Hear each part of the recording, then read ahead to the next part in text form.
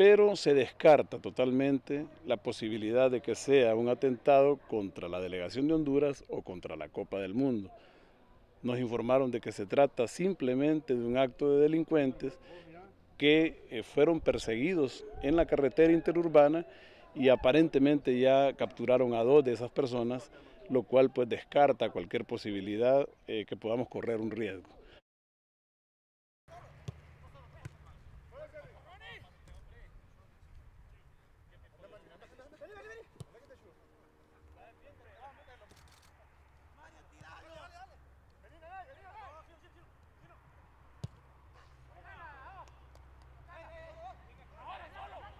Así es, en el primer día del suceso, que fue el día de ayer, solicitamos un refuerzo nosotros de la seguridad nuestra, para, con carácter preventivo, con carácter disuasivo.